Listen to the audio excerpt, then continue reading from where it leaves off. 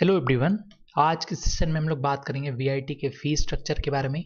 आप सभी को पता है कि वीआईटी के तीन अलग अलग कैंपसेज हैं। वेल्लोर को मिला दो तो चार कैंपस है। लेकिन चेन्नई में दो कैंपस है, आंध्र प्रदेश में एक कैंपस है और भोपाल में एक कैंपस है।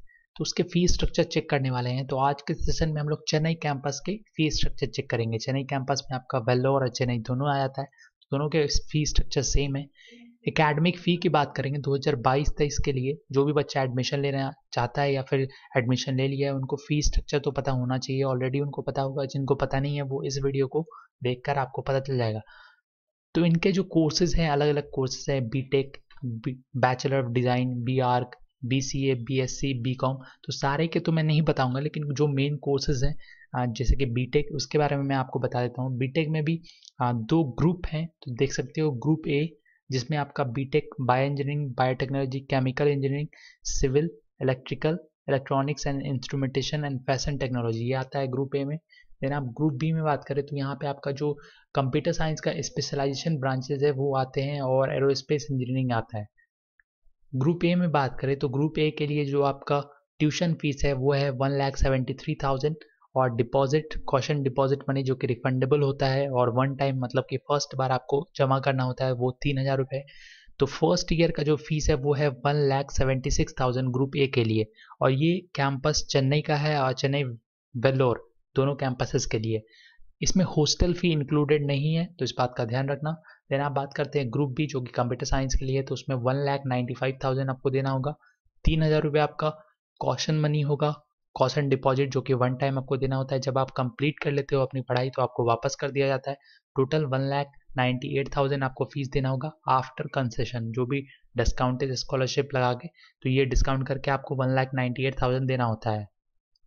भोपाल कैंपस की बात करें तो यहाँ देख सकते हो one lakh ninety eight thousand आपका ट्यूशन फ़ी है थ्री थाउज़ेंड आपका एंड डिपॉजिट है, और फ़र्स्ट ईयर की फ़ीस की बात करें overall two lakh one thousand के करीब है after concession then B R की बात कर लेते हैं। ये आपका चेन्नई और वेलोर कैंपस का है तो two lakh eighty five thousand three thousand आपको कॉशन डिपॉजिट है और टू एट्टी एट आपको two lakh eighty eight thousand आपको ओवरऑल देना होगा। B C A B S C B Com और बी बी ए के लिए फिफ्टी सेवन थाउज़ेंड आपको देना होगा फ़र्स्ट ईयर में और जितने भी ईयर करते हैं उसको मल्टीप्लाई कर लेना।